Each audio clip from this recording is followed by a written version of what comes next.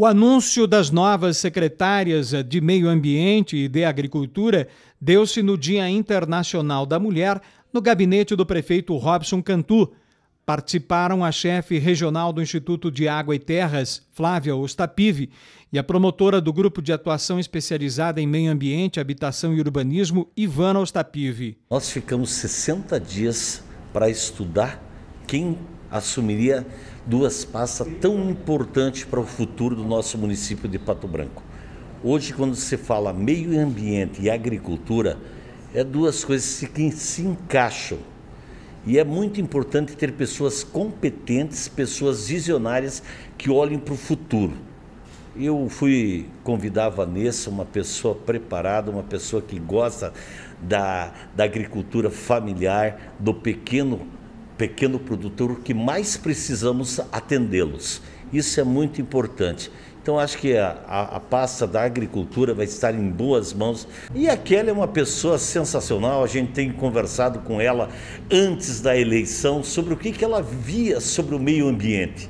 Os projetos que ela tem é sensacional, que se encaixa com a Agenda 2030. E é isso que nós queremos: projetar Pato Branco a longo prazo. A nova secretária de Meio Ambiente, Kelly Stark, é engenheira ambiental e de segurança do trabalho com aperfeiçoamento em educação ambiental e especialização em engenharia de segurança do trabalho. Pois bem, as expectativas são grandes e o desafio maior ainda.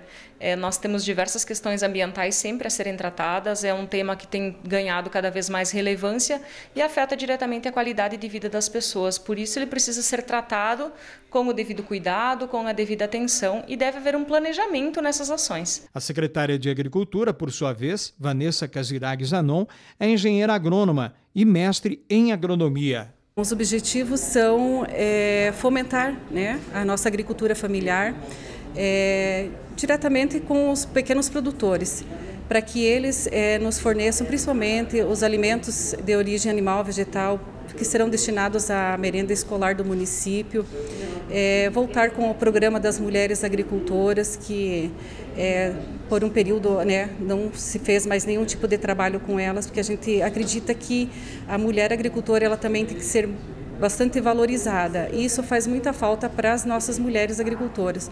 Fomentar todas as cadeias produtivas, né, tanto de origem vegetal e animal do nosso município.